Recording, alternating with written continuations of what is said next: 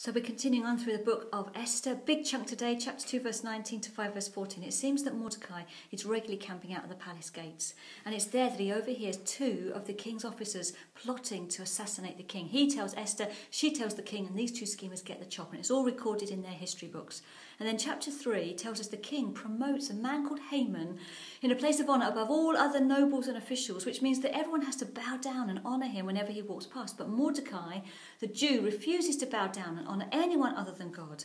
And that enrages Haman, and it fuels a desire in him to want to destroy the Jewish people. So, verse 8 Haman uses his powerful position to whisper malicious rumours in the king's ear about how different the Jews were and how they didn't obey the king's laws and how it'd be in the king's best interest to get rid of them. The king listens.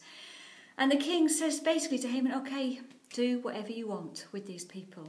And so Haman appoints a day and sends a decree out that on that particular day, all the Jews, young and old, men, women, children, would all be killed. And so, chapter 4, we see as this decree goes out, all the Jews are weeping and mourning, and Mordecai's wearing sackcloth and ashes at the king's gate. And Esther hears of Mordecai's distress and sends an aide out to find out what's going on. And Mordecai tells the aide all that's happened and gives a copy of the decree to give to Queen Esther and basically says that Queen Esther has to go before the king and plead for mercy on behalf of her people. So the aide goes back, reports this to Esther, and she then reports back to Mordecai and reminds him that if anyone approaches the king without being summoned, then they can be put to death. The only exception is if the king extends his royal sceptre and then your life is spared.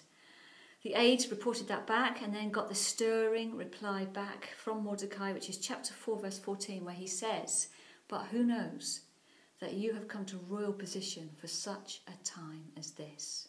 Mordecai speaks the very best of who she is, to her sense of destiny, to the courage that's within her, and it works. So she instructs Mordecai to gather all the Jews and to fast for three days. She knows that she is totally and utterly dependent on God to come through, that she knows that she could perish at this point.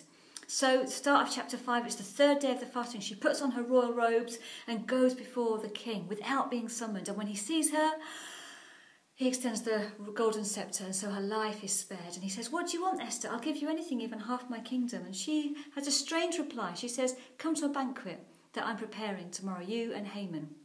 So they do, and at the banquet they ask again, What do you want? And she says, Come to a banquet that I'm going to prepare for you tomorrow. So Haman's on his way home, feeling all pumped up. He's been given a special treatment, had this uh, banquet hosted by Queen Esther, but then he sees Mordecai and he's immediately consumed with bitterness. And, uh, you know, he's a man who is bound up in bitterness. And he vents to his friends, saying, um, All this gives me no satisfaction as long as I see that Jew Mordecai sitting at the king's gate. And at that point, his wife and friends suggest that he have a 75 foot gallows built and ask the king in the morning to have Mordecai hanged on it.